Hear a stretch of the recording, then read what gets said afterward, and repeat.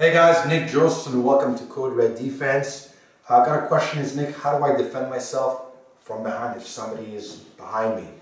Uh, the best strikes I've seen when you're chest to back are elbows. So if I'm here, I'm elbowing here, here, up, down. As soon as I'm, rule of thumb, anytime I'm faced with an attacker from chest to back, I have to face him.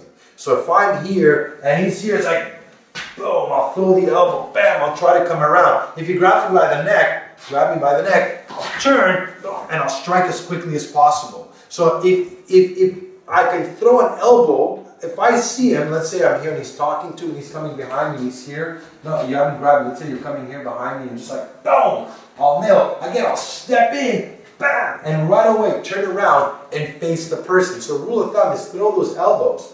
Once the person grabs you, you got to turn around and face him. So if I'm here and he grabs, grabs, boom, I got to turn around right away and strike as quickly as possible.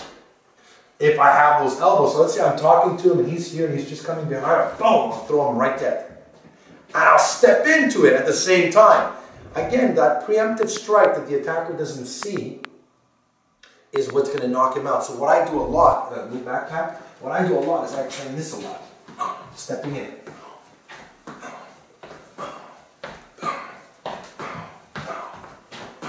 I'm always stepping under. Boom. Here, here, here. And I just, I do it on the BOB dummy, I do it on the helmet repeatedly. So when I work my elbows on the BOB dummy, I go backwards and I just work those elbows, stepping in every time to make sure that if the person comes behind me, as he's moving in, go, it's like boom, right away. I hit him as he's moving in.